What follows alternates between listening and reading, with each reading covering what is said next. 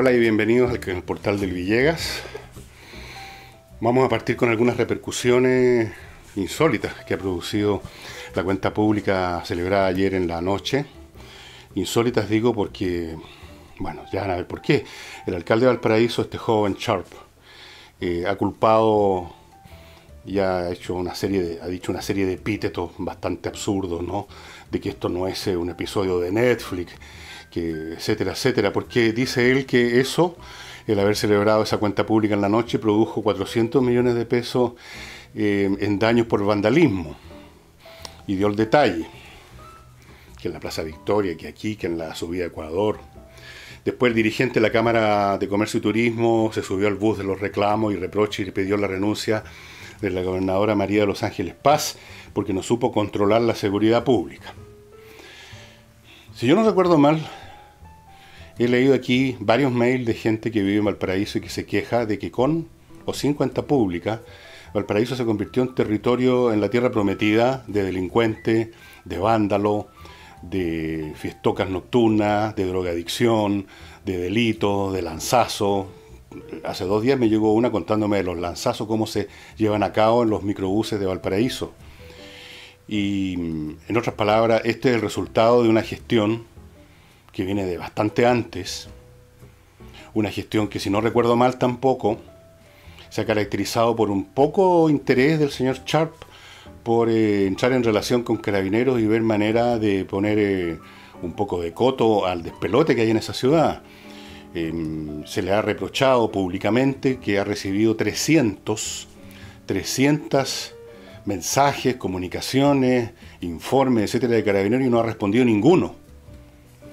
Por las razones que he dicho aquí mil veces, porque es un sector político al cual el señor Char pertenece, que se horroriza le molesta, le disgusta todo lo que se asocie visualmente, semánticamente, verbalmente, políticamente con el uso de la fuerza pública para reprimir a los delincuentes, a los vándalos, a los fiesteros y a todos los desorbitados mentales que andan dando vueltas por las calles en las noches, no solo en Valparaíso, por lo demás. Les carga, todo eso les suena a represión, a represión. Entonces, eh, ellos les gusta la rica diversidad o sea, la diversidad significa que usted sube a un micro y convive con un cogotero, pero eso es diversidad, convive con un tipo que le canta en la oreja y si usted no le da unos, unas monedas, le va a pegar un guitarrazo en la cabeza, eso es diversidad, convive con, la diversidad. Entonces, me parece un descaro, me parece una patudez culpar al, gobierno, al culpar al hecho de haber elegido en la noche eh, la cuenta pública y como culpable, como, como responsable del despelote y pedirle que el gobierno pague esa cuenta. Me parece una frescura. O sea, Sharp simplemente no ha hecho su trabajo. Punto. No ha hecho su pega. Ha dejado que la ciudad se siga llenando. A él le debe encantar eso. Como es joven, entonces pertenece a esa onda, esa onda, let it be que, florezcan mis flores, como decía Mao Zedong el día antes, que las cortó a todas. Entonces, esto de entrar en relaciones con carabineros para coordinar manera de controlar la, situación que se vive en Valparaíso, no, no le gusta para nada. Entonces, claro, se va generando un clima que hace que en cualquier oportunidad eh, los imbéciles de siempre salgan a las calles a hacer sus numeritos. Pero no tienen otra cosa que hacer. Estamos hablando de gente de muy bajo coeficiente intelectual, pero muy alta resentimiento y rabia, y andan buscando qué romper, qué destruir, qué rayar, qué quemar, qué vandalizar, a quién pegarle, eh, para, en venganza de sus pobres y miserables vidas. Entonces salen en patota eh, a hacer, eh, disfrazando todo su accionar tras algún tipo de manto político, ¿no? Están reclamando contra el gobierno, están reclamando contra contra Piñera, están reclamando por la educación de calidad, están reclamando por algo, pero en el fondo están simplemente evacuando como un vómito, un vómito ácido su rabia.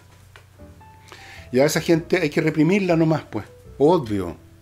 Pero Sharp nos tapa esas cosas. Ahora, en cuanto a la gobernadora, yo no conozco a esta señora, imagino que la, la nombró el gobierno, los gobernadores los nombra el gobierno. Bueno, ella no sé, pues, Dice, decía uno de los, de los reproches que ella cuenta con una fuerza policial en Valparaíso de más o menos 1.500 carabineros. ¿Y dónde estaban esos 1.500 carabineros? No tengo idea dónde estaban los 1.500 carabineros, pero sí sé una cosa. Sé dónde estaba probablemente la mente de la señora Paz. estaba en el pánico de que no fueran al día de mañana si realmente desplegaba fuerza suficiente para controlar a los vándalos o no la fueran a acusar de reaccionaria. Es probable, es muy probable que haya sido así. O sea, tienen miedo en el gobierno, tienen miedo en esos sectores que supuestamente son la derecha. Tienen miedo de usar la fuerza pública, porque ya se impuso como un dogma la idea de que la fuerza pública es equivalente al mal, a Satán. Y se han comido ese concepto, ese dogma, como se han comido tantos más en, la llamada derecha, en el, en el gobierno. Entonces, así como en Valparaíso no hubo suficiente protección policial para que no hubieran estos destrozos de 400 millones, así en la Araucanía también pasa lo que pasa lo que quiera que pase la CAM y tampoco hay ninguna acción importante de la policía. En los barrios de Santiago, los narcotraficantes se han tomado los barrios, son los que manejan los barrios, gobiernan los barrios, impusieron lo que el propio presidente llama la narcocultura. ¿Y dónde están los carabineros? ¿Dónde está la policía? ¿Dónde están las redadas para agarrar a todos esos criminales? Ninguna. Entonces, ¿qué tiene de raro que salgan a destruir? El propio Sharp y no solo Sharp, sino que el mundillo que lo rodea, toda su gente, todos sus referentes políticos, ideológicos y valóricos. Los referentes también políticos, ideológicos y valóricos de mucha gente de la llamada derecha. Los referentes del gobierno, todos esos referentes están en la, apuntan más o menos a la misma dirección. O sea, no atreverse a usar, porque no gusta o por miedo a, las consecuencias políticas, a usar la fuerza pública para reprimir a esta gente. Pero lo que ya me parece que rebalsó el, vaso, digamos, esta patudez de pedir que el gobierno pague los daños. Bueno.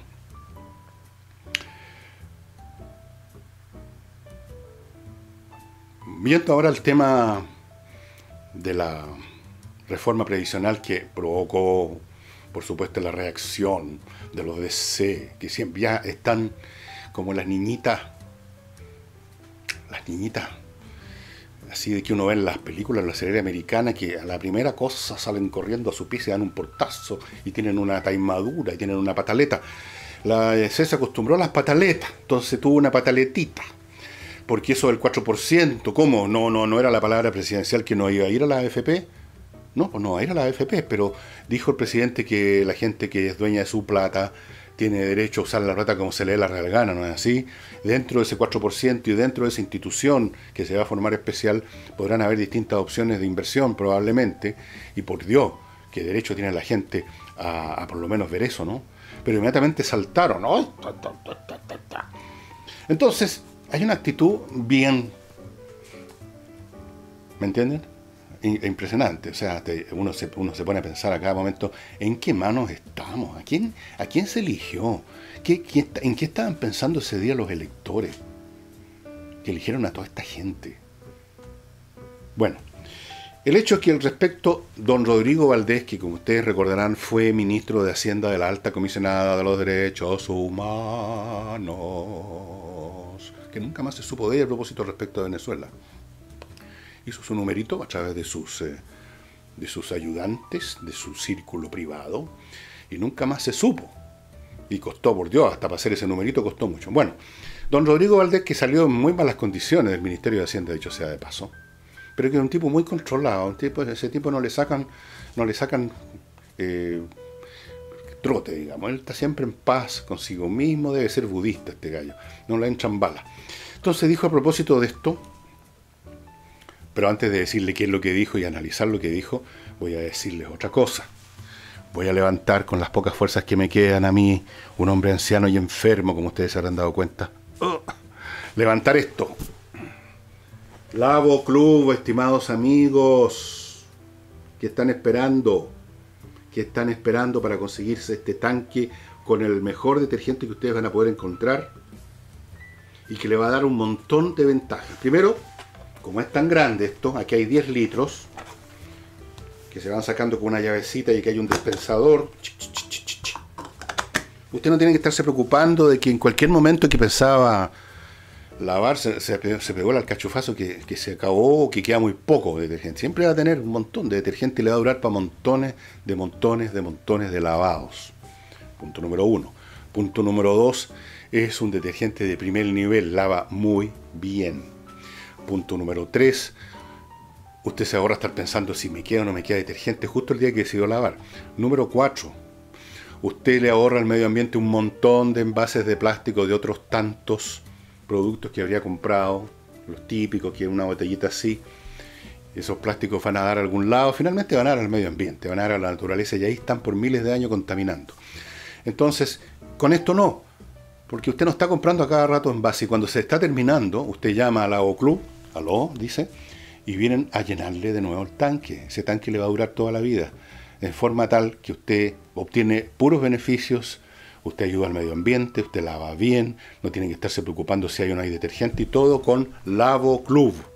Lavo Club, ahí están los datos, llámenlos y háganme caso, sí, yo estoy usando acá en la casa desde luego. Yo cuando hago una publicidad de algo es porque creo en que el producto vale la pena, si no, no. Y otro producto que vale la pena son dos eh, abogados que tienen un buffet, son Salinas y Ojeda, que se dedica exclusivamente a temas civiles. Nada de temas penales, nada de temas laborales, por lo tanto son muy eficientes porque se especializaron, tienen una muy buena tasa de éxitos legales, cosa fundamental. Cuando usted tiene un lío, pongamos por caso un tema de disputas de herencia, disputas de familiares, divorcios, tutoría o tuición del niño, que la pensión, todas esas, esas cosas, ponerse en manos de un abogado que lo único que hace es ordeñarle plata pidiéndole todos los meses con un pretexto X más plata y no hace nada, no mueve ni un papel, es lo peor que le puede pasar a un cristiano. Salinas y Ojeda, estimados amigos, garantizan un tratamiento eficaz de su tema, Salinas y Ojeda.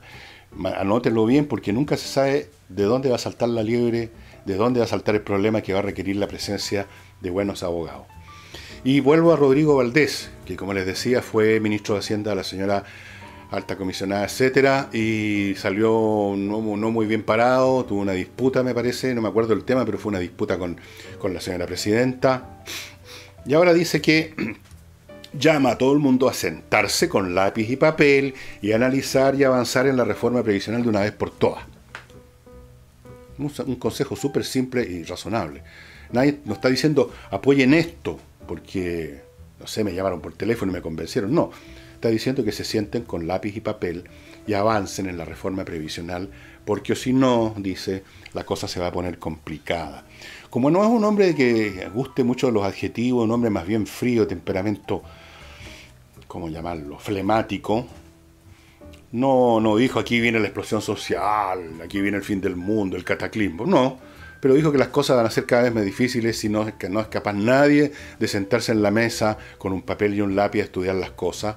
Y qué va a suceder con otros proyectos que vienen en camino, que podrían venir, si se establece y se fortifica este clima completamente estúpido de guerra a muerte. El presidente dijo, entre paréntesis, en su cuenta pública esto de que las instituciones del Estado no estaban para estar en una situación de conflicto entre sí, sino que al contrario, tienen que colaborar. Y colaborar no significa necesariamente estar de acuerdo en todo. Si nadie está pidiendo a la oposición que, que se ponga, que se cuadre con el gobierno. Están pidiendo que hagan su pega. Esto significa sentarse a debatir y cuando tienen un punto que no les parece, que se argumente bien. Es que no veamos más este caso que hemos visto con varias cuestiones, como por ejemplo ese tratado, el TTPT1 o algo así, donde había un montón de gente que no lo habían leído y se notó por las objeciones que pusieron que estaban rebatidas en el mismo proyecto. O sea, tenemos un montón de analfabetos políticos en el Congreso. Analfabetos en todo el sentido, no, no se molestan en leer, pues. Llegan y firman cualquier cosa, llegan y sacan del, una frase hecha de algún lado, así de su memoria. Patético. Así es que Rodrigo Valdés, que es un hombre frío, calmo, sereno, un poquito fome incluso, eh, no, no dijo más que eso. Llama a la gente que se pegue en el alcachofazo y que haga su pega. Me parece fundamental. Eh, les quiero contar que mañana 4, o sea, hoy día, perdón, y que pasa que yo estoy grabando en las últimas horas del lunes. Hoy, para ustedes, 4 de junio, se conmemora, no en China, pero sí en el mundo, el aniversario si es que podemos llamarlo aniversario, de la matanza de la Plaza Tiananmen, que ocurría en 1989, el 4 de junio, cuando se juntaron miles de estudiantes y jóvenes y, y, otras personas también a reclamar contra las políticas del Estado chino. Los chinos mandaron tanques, abrieron fuego y hubo una matanza de la cual nunca se ha sabido el número exacto de muertos, pero desde luego son por lo menos cientos. Imagínense un tanque usando sus ametralladores así barriendo una plaza, repleta de gente, no hay manera que una bala se pierda ahí. Todas impactan a alguien o a más de alguien probablemente. Ahora bien, en general el gobierno chino se ha mantenido siempre en total silencio con respecto a esta masacre tan propia de estos regímenes, pero ahora sacaron la palabra y en un medio de, que, está relacionado con el gobierno, como todos los medios en China, se caracterizó esta masacre, que por supuesto usaron la palabra masacre, como una vacuna, una vacuna para, para que el país no sufriera nunca más desórdenes de este tipo, una vacuna, para inmunizar a China. Fue una decisión correcta, les encanta la palabra correcta a los comunistas, la decisión correcta, la vía correcta. Fue la decisión correcta que terminó las disputas. De pronto la masacre se convirtió en disputas. Después hablan del incidente. La masacre se convirtió también en incidente. Y dicen, gracias a ese incidente y la decisión correcta que tomó el gobierno chino, China es ahora la segunda economía mundial. En otras palabras, y para decirlo en castellano, gracias a la matanza sofocamos las fuerzas democráticas, o en todo caso las fuerzas eh, opositoras que habían en China por una larga temporada, establecimos una manera de funcionar que los ha dejado a todos paralizados todo este tiempo y por lo tanto el país ha podido crecer. Ese es el discurso de las autoridades chinas respecto a Tiananmen. ¿Qué tal? Por supuesto, si usted mañana, o sea, hoy día, le va a preguntar al señor Tellier del Partido Comunista o a la señorita Carol Cariola o a la señorita, ¿cómo se llama la otra? La Vallejo, sobre esto, van a decir, eh, capaz que digan lo mismo, o sea, ya leyeron el libreto, van a decir de que esto fue la decisión correcta. Porque habían unas fuerzas del mal, hay agentes del imperialismo, todos los estudiantes eran agentes del imperialismo, y había que vacunar a China contra eso porque para los regímenes comunistas la disensión es una enfermedad y por eso es que hay que vacunarse. Y no crean ustedes que en esto China es original.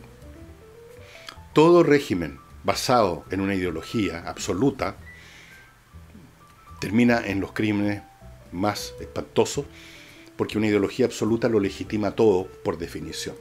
Hay una famosa anécdota me van a perdonar, pero estoy bastante jodido de salud. Hay una anécdota de cuando los cruzados, en la primera cruzada, que es a principios del siglo XI después de Cristo, van a asaltar la ciudad de Jerusalén, que estaba en manos todavía de los musulmanes, y la orden era entrar a sangre y fuego. Y alguien dijo por ahí que iban a morir personas que a lo mejor hasta cristianos que pudieran haber ahí, que iban a morir niños, mujeres, gente honesta, gente justa. Y el tipo que dio la orden dijo, no se preocupe, los vamos a matar a todos igual, Dios va después a seleccionar los que eran justos. Ese es el tipo de lenguaje y de mentalidad que reina en un régimen que tiene una doctrina absoluta, como era en la cristiandad, la cristiandad. Entonces había que exterminar a los musulmanes porque no eran de la religión de vida eran herejes, eran paganos, eran demonios. Entonces matarlos a todos y si había alguien decente, bueno, Dios haría cargo, digamos, de salvarlo del infierno. Y siempre se ha observado el mismo fenómeno. ¿Para qué hablamos de los crímenes que se cometieron en Rusia? Eh, Stalin se calcula, sumando las hambrunas que provocó, algunas de ellas resultado directo de sus políticas agrarias, por ejemplo en Ucrania, eh, las políticas que siguió con los soldados del ejército rojo que luchaban contra los alemanes, a, muchos de los cuales los lanzaban a atacar sin armas en las manos para que los masacraran los alemanes, y si, y se daban vuelta a la espalda estaban los comisarios disparándoles, eh, los crímenes políticos, las purgas, em, hay cifras muy distintas, pero estamos hablando de decenas de millones. Esas son las muertes que produce un régimen absoluto porque si usted tiene una concepción absoluta de lo que es correcto, bueno, ¿Con qué derecho alguien se puede oponer a eso? No hay espacio para la oposición. Al contrario, la oposición se convierte en algo diabólico, algo que hay que estirpar, algo de lo cual hay que vacunarse, como hicieron los chinos. Y ahora les quiero contar eh, de controller, estimados amigos. No olviden a controller si tienen una empresa y, y tienen por lo tanto una administración que a lo mejor, o sea, lo peor, no anda muy bien. A veces se nota y otras veces peor todavía no se nota. Y por lo tanto usted arrastra un problema por año y pierde tiempo y dinero sin a veces darse cuenta. Es el momento que cambie su manera de administrar su empresa. ¿Por qué no hacerlo si tiene a Controller? Una empresa formada por contadores auditores de primer nivel que trabajaron 20 años en grandes empresas internacionales, fundaron su propia empresa que es Controller, se hicieron de un software de primerísimo nivel adaptado a Chile y están entregando a las empresas de cualquier tamaño que toman, que requieren su servicio, un servicio fantástico de asesoría en todos los temas eh, administrativos, o sea, contables, auditorías, pagos, asesoría de gestión de finanzas, de procesos, todo. La vida le puede cambiar en su empresa si se pone en manos de controller. De hecho, no le cuesta nada a usted ponerse en contacto con ellos y que le hagan una primera evaluación gratuita. Así es, gratuita. Empresas grandes, chicas o medianas, todas por igual, pueden contar con los servicios de controller. Y finalmente no olvide a Hey. Este muchacho, pues Hey, que está dedicado como loco a vender propiedades. Le encanta. Es un artista. ¿Saben ustedes que la venta es un arte? Pues, no es llegar y vender. Un verdadero vendedor es un artista. Y Hey es un artista usted le entrega una propiedad y rápidamente ya la está vendiendo. Olvídese de estos corredores que aceptan su encargo, pero no hacen nada. Pasan los meses y no pasa nada. ¿Usted quiere vender? Venda, pues, póngase en manos de Hey. Usted quiere arrendar una propiedad y no sabe a quién, sabe, intuye que hay gente que arriende y después no paga y dejan puros estropicios. Póngase en manos de Hey. Él sabe detectar a la gente buena y a la gente mala, los separa y sabe a quién arrendarle. ¿Quiere usted que él le administre sus propiedades? Ni un problema. Hayes administra propiedades también. Hayes las hace todas, estimados amigos. Y ahora, respecto a los libros.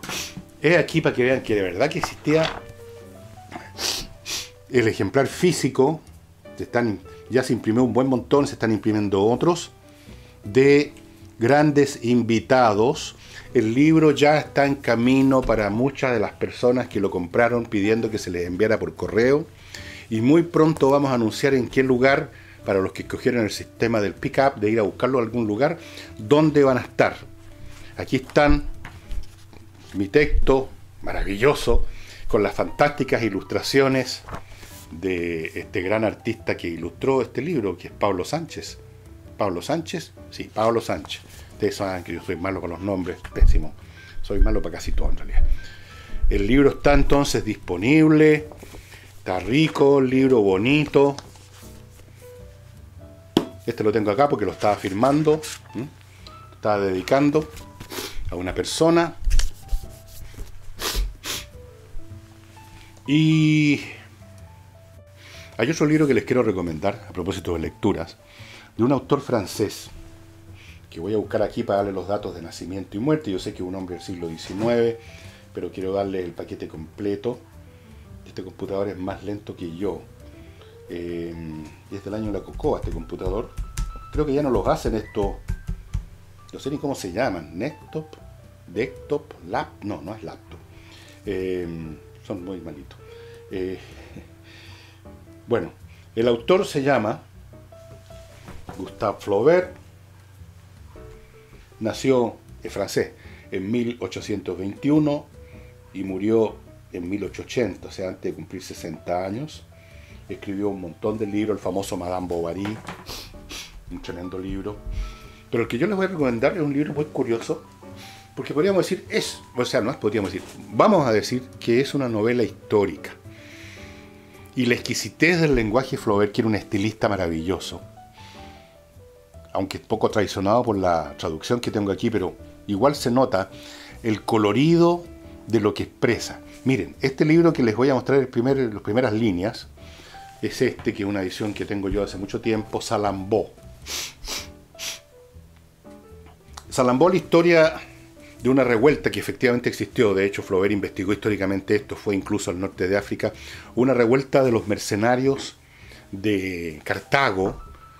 Cartago era una ciudad comercial, ustedes recuerdan que disputó tres guerras con Roma, se disputaron la hegemonía del Mediterráneo, y mm, Cartago no tenía tropas propias, era una ciudad de los comerciantes no son buenos para ponerse un yelmo con una coraza arriba de la, panza que tienen, ir a pelear, entonces contrataban mercenarios.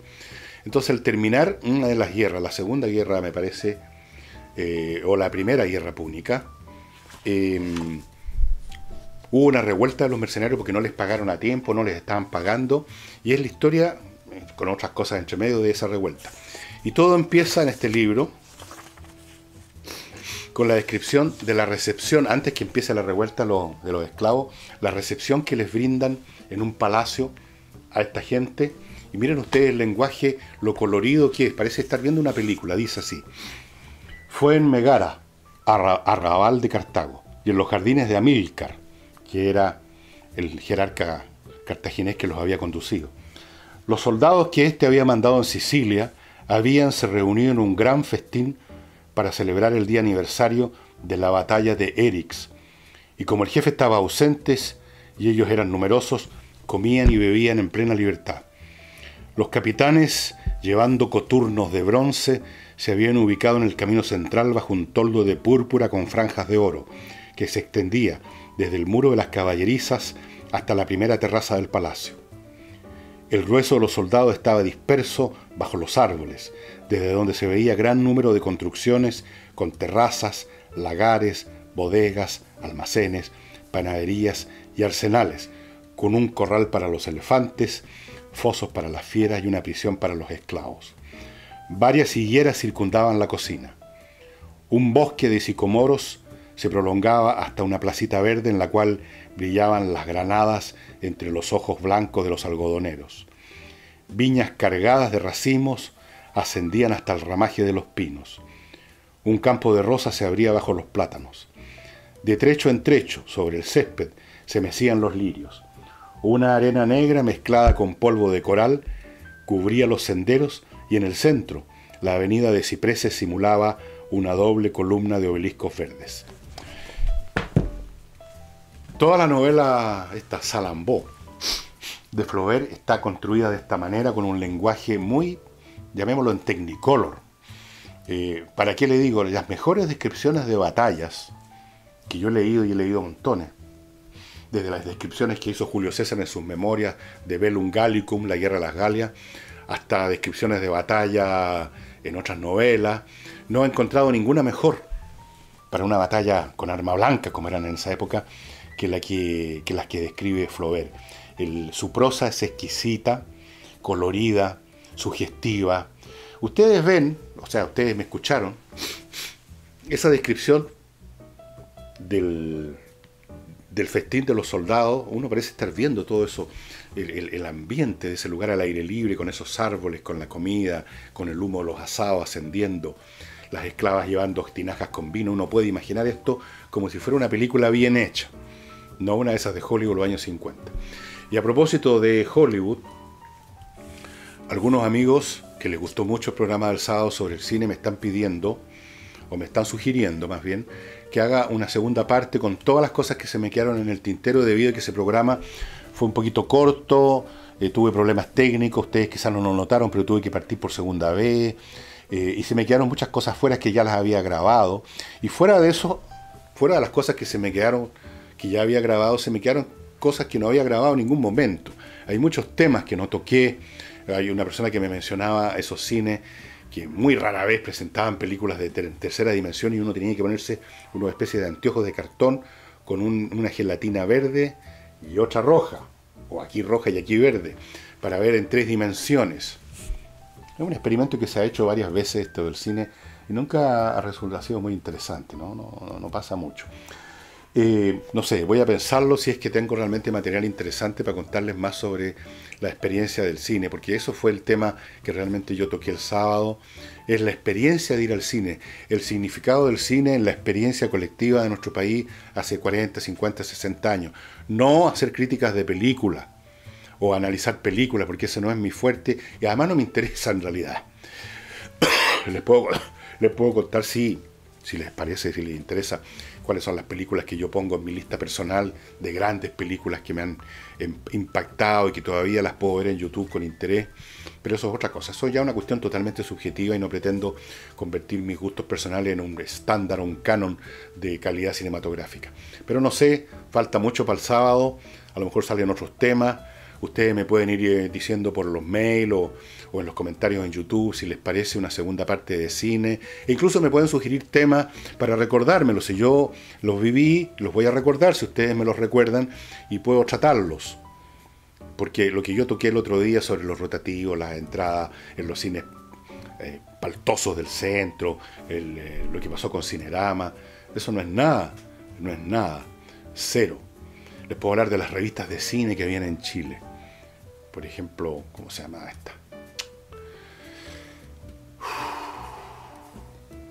No me acuerdo, ya me acordaré. Había una revista de cine eh, con periodistas que iban a Hollywood a veces a entrevistar actores eh, y contarnos del cotilleo de Hollywood, que siempre hay mucho, ¿no es cierto? Intriga amorosa, que casamiento, que divorcio, amantes, de todo. Em, eso. Ya lo vamos a ir viendo y entonces ya saben, las personas que compraron mi libro está ya yendo en su dirección a sus casas o va a estar, se lo voy a anunciar en un par de días más probablemente, eh, yo dependo aquí de otros mecanismos logísticos, pero ya muy, muy, muy pronto ustedes, si son de los que compraron para ir a buscar el libro, van a saber dónde tienen que hacerlo. Y eso sería todo por hoy. Voy a ir a mi lecho del dolor, a morir. Así que si mañana no me ven aparecer es porque ya simplemente caí de, vencido por la gripe que estoy en este momento luchando. Bueno, hasta mañana, si Deus le belt.